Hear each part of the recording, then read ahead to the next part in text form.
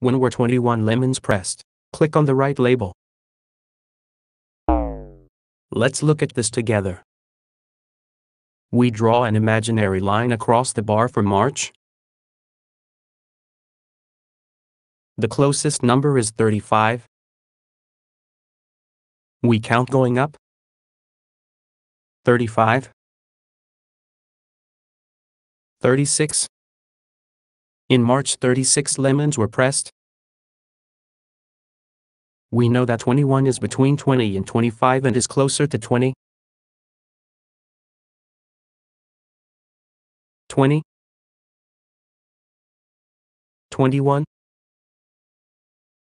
We stop at the bar for the month of January.